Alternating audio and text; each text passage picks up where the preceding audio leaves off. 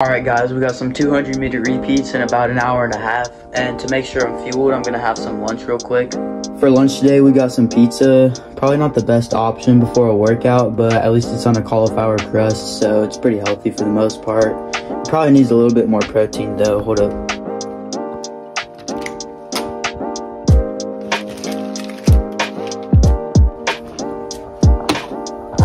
Alright, now we got some nuts, so yeah, that should be good. Whenever we do like longer reps for our workouts, I usually take about 5 minutes to figure out what splits I need to run for each rep.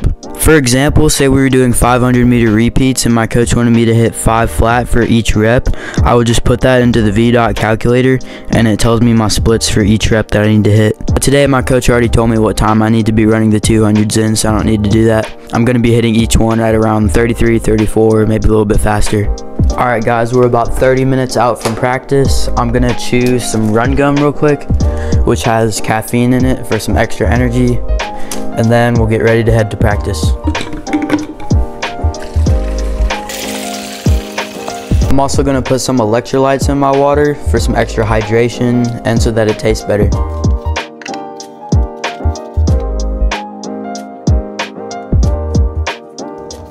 Now it's time to make my recovery shake for after. Usually I just grab a pre-made Orgain shake, but since today's workout is going to be a lot more taxing on my muscles with all those sprints, I'm going to be making a bigger shake.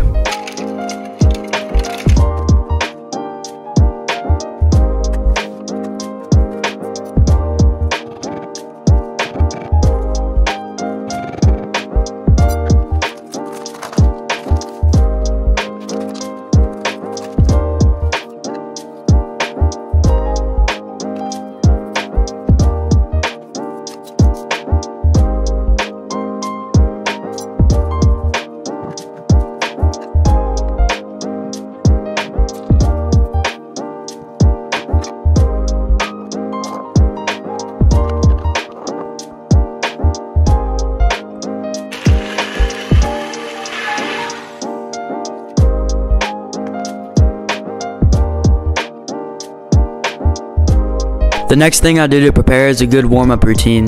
I usually just run about half a mile and then do some good drills. If I'm really sore, then sometimes I'll do some static stretches, but mainly I just focus on drills. I don't really feel like recording at practice, so I'm just going to show you all my routine in my garage.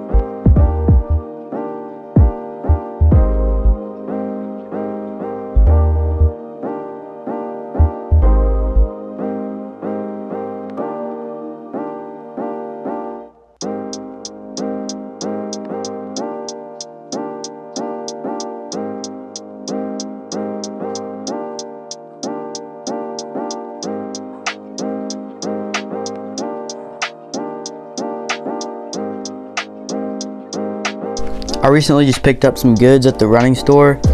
I got some chicken leg lightning shorts and some Feetures socks, so I'm gonna be rocking those today for the first time.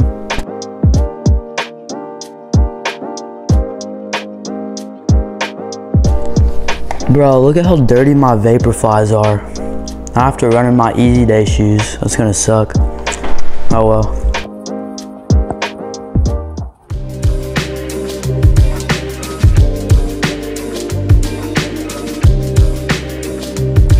Day 91 of training to run a mile under 430 as a middle schooler. Today I did some speed work on the track. I did 12 by 200 meter repeats and for recovery I jogged 200 meters between each rep. I averaged about 33 seconds for each rep which is a little bit under 430 mile pace. After this I wasn't able to record it but I did some weightlifting mainly focusing on fast twitch muscle fibers. Day 91 complete seal tomorrow.